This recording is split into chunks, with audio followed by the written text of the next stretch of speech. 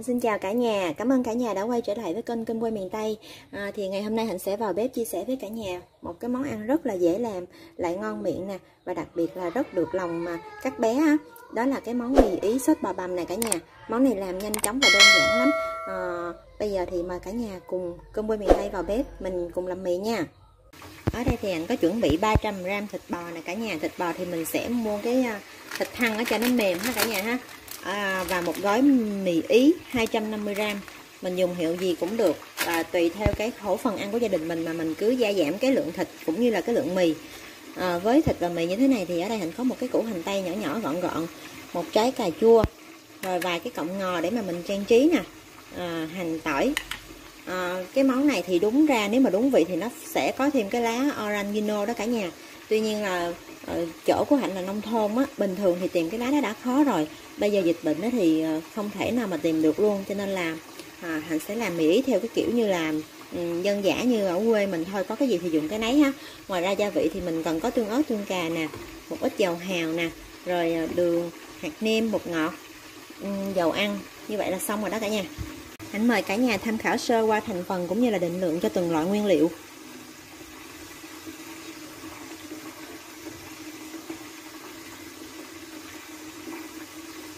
Tiên thì mình sẽ đi luộc mì với cả nhà. Mình sẽ cho lên trên bếp một cái nồi hoặc là một cái chảo nước 3 lít. Thì à, ở đây thì Hạnh sẽ dùng chảo để cho nó có cái chiều vừa rộng vừa đủ với cái à, cái cọng mì luôn cho nó dễ đó cả nhà. Cho vào trong chảo 3 lít nước rồi bây giờ thì mình sẽ cho mì vào khi nào nước sôi thì mình hẳn cho mì và mình luộc nha cả nhà luộc mì này trong vòng 12 cho tới 15 phút tùy theo cái độ lửa của các gia đình mình ha theo thì mình sẽ đi cắt nhỏ cái phần thịt bò này để mà mình đem đi xay. À, thịt thì mình có thể xay hoặc là băm nhuyễn gì cũng được cả nhà. Có máy thì mình cho vào máy xay cho nó nhanh ha. Ở đây thì hạnh sẽ xay và mình sẽ xay hoặc là băm không có quá to. Nó cũng còn cái um, miếng thịt. Để mình ăn nó không có bị sảm không bị khô cả nhà. Sát nhỏ nhỏ để cho cái cối nó xay cho nó dễ ha mình xay cho cái phần thịt của mình nó như thế này là được rồi cả nhà. Đừng xay nhuyễn quá ha. Rồi bây giờ mình sẽ cho thịt ra tô để mà đi ướp. Phần hành tỏi thì mình xay hoặc là băm nhuyễn luôn ha cả nhà. Ở đây sẵn có cối thì mình sẽ xay luôn. Xay như vậy là được rồi. Bây giờ mình sẽ cho phân nửa vào trong cái à, cái tô thịt ha.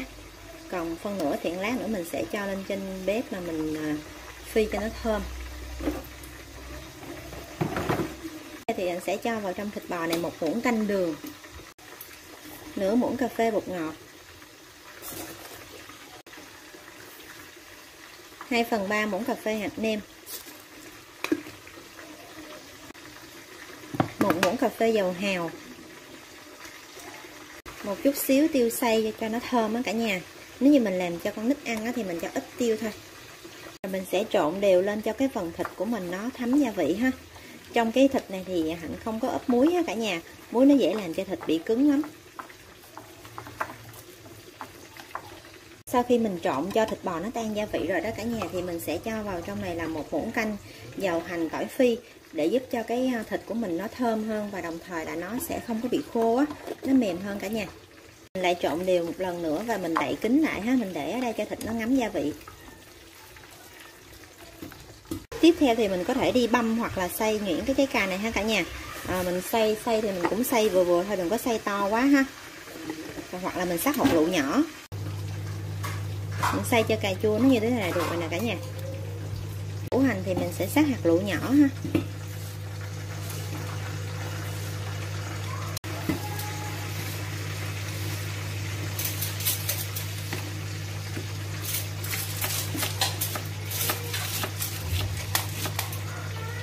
Sát hạt lựu nhỏ như vậy.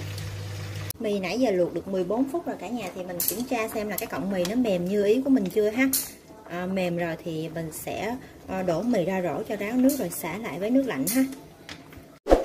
Mì sau khi mà luộc xong xả nước để ráo rồi thì mình có thể cho vào trong mì này một chút xíu dầu hành tỏi phi để cho cái sợi mì nó à, bóng nước nó không bị dính với nhau và nó thơm nha cả nhà. Tiếp theo thì mình sẽ cho lên chảo khoảng chừng hai muỗng canh dầu ăn ha. Dầu sôi thì mình sẽ cho cái phần hành tỏi băm còn lại vô hành tỏi nó vàng thơm thì mình sẽ tắt bếp cả nhà. Tắt bếp rồi thì mình mới cho cái phần à, cà chua mà hồi nãy mình xay hoặc là băm vô ha. Cho nó đỡ văng á. Nếu mình để bếp á là mình cho cà chua vô rồi nó nó văng dầu lên dữ lắm. Xong rồi mình sẽ cho vào trong này là ba muỗng canh tương cà một muỗng canh tương ớt. Thì tùy theo cái khẩu vị ăn cay của gia đình mình mình sẽ cho tương ớt nhiều hay ít ha? Món này thì thường làm cho mấy đứa nhỏ, cho nên là mình cũng cho ít tương ớt thôi, cho nó thơm thôi. Rồi mình cho vào thêm một muỗng canh dầu hào ha.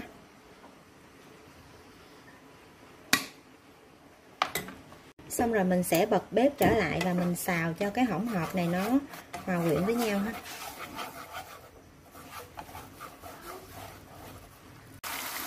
Khi mà cái hỗn hợp nó sôi á, thì mình sẽ cho vào khoảng chừng 2 phần 3 chén nước cả nhà. Sẵn cái chai dầu hào nó hết cho nên là hạnh cho nước vào đây là để xúc cái chai dầu hào luôn. Và mình sẽ nấu cho cái hỗn hợp này nó sôi lên ha. Bây giờ thì hạnh sẽ nêm gia vị cho cái ờ, phần sốt. Mình sẽ cho vào trong này là một muỗng canh đường. Và một muỗng cà phê hạt nêm mình cứ nêm khẩu vị, tùy theo cái khẩu vị ăn của gia đình mình ha cả nhà ha. Cho nó hơi đậm đà một tí, tại vì lát nữa thì mình cho cái sốt này lên mì á. Sau khi mình nêm cho cái sốt của mình nó vừa ăn rồi đó, và sốt nó sôi trở lại thì mình sẽ cho cái phần thịt bò nãy mình ướp luôn cả nhà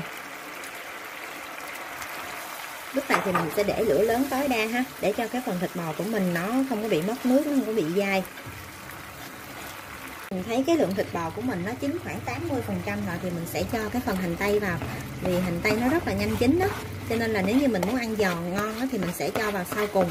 Còn nếu như mình thích hành tây mềm thơm thì mình sẽ cho hành tây một lượt với thịt bò luôn.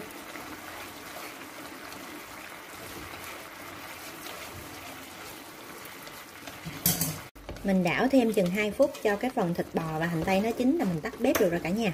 Mình nhớ nêm lại theo khẩu vị ăn của gia đình mình ha hạnh thì anh thấy rất là vừa rồi. Như vậy là cái phần sốt của mình đã xong rồi đó cả nhà. Nếu như mình có cái lá oregano thì mình sẽ cho vào trong lúc này luôn. Rồi mình trộn đều lên ha. À, mì cũng chuẩn bị xong. Bây giờ mình sẽ cho cái uh, phần sốt thịt bò bằm lên trên mì. Như vậy là xong rồi. Món ăn rất là đơn giản và nhanh gọn cả nhà. Hạnh chưa có kịp quay xong thì phải múc ra cho mấy đứa nhỏ ăn rồi. Tại vì hôm nay hạnh làm hơi trễ á cả nhà thấy có hấp dẫn không? Mình sẽ trang trí thêm một ít ngò rí để cho cái dĩa mì của mình à, nhìn nó hấp dẫn hơn ha. Như vậy là Hạnh đã chia sẻ xong cái món mì ý bò bằm rồi cả nhà rất là nhanh và dễ phải không cả nhà? Thì uh, hy vọng là với một cái món ăn này thì cả nhà có thể uh, nhân cái thời gian tránh dịch mình ở nhà này mình vào bếp mình trổ tài mình làm cho các bé ăn ha.